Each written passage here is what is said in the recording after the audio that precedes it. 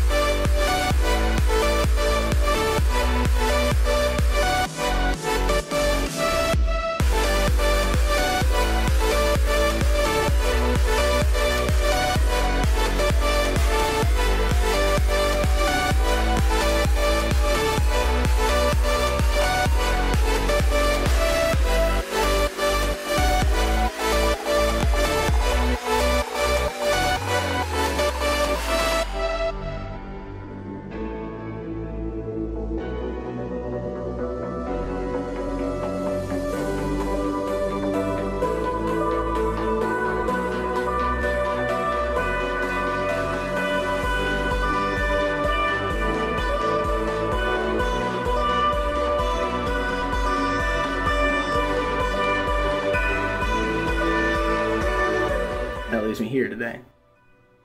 In looking back at the videos that I made earlier, I went over a couple of the things that I wasn't able to do and some of the things that I was uncomfortable doing because of either they were painful or it was just kind of scary to go in that motion. So I also thought I'd like to go over a couple of those things that uh, I couldn't do then that I can do pretty well now. And the last video that I made, I showed that I wasn't quite comfortable putting my, my hand all the way above my head. And now I, I can do that pretty well. Um, and I remember that last time I wasn't quite comfortable going past here, um, just because it does put quite a lot of pressure right there.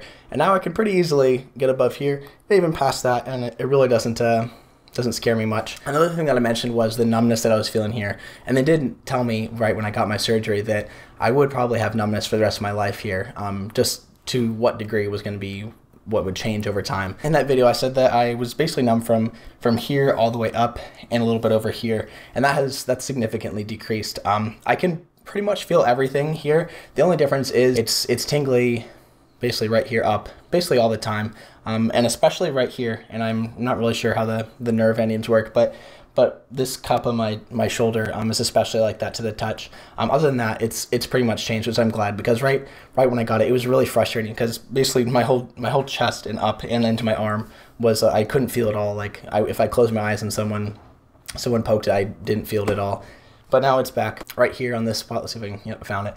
I had a, a, dissolvable suture that I don't know if it was my fault or what, but um, didn't dissolve quite as quickly, and now I've actually developed got a little bit of a buildup of scar tissue. I looked it up; it's actually called a keloid, and uh, you can have it removed if it bothers you, but it doesn't bother me yet. One small bit that I've noticed um, as I have begun exercising a little bit more, especially with weight training, is I have found that it is a little bit more difficult to train this side of my of my chest and sometimes my arm too. I think that's just a little bit with having such a large cut in. And I don't know how evident is in uh, my appearance, I guess. It's definitely a lot harder to train this side in terms of force output and um, being able to lift weights in the, in the correct way. It's almost like I had to relearn how to do a couple of movements like chest press, for example, with my left side um, because for so long I, I couldn't do any pushing in front or pushing overhead or, or outside. And so I think I'm still kind of learning how to do that. And I can definitely tell in terms of exercises like that that involve my chest is that I really have to focus on innovating the correct muscles over here and not um, cheating and like using my bicep or my tricep when I'm pushing. And it's really not that big of a deal, but it is something that the surgery did change about um, how I exercise. So I think that's about all I wanted to say about this. If anything else crazy happens, I'll be sure to make another video. But so far, that's about all that I can think of that's uh,